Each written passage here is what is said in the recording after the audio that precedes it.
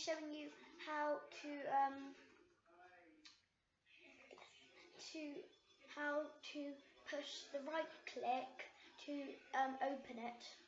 So what you need to go to go down is you need to go to settings.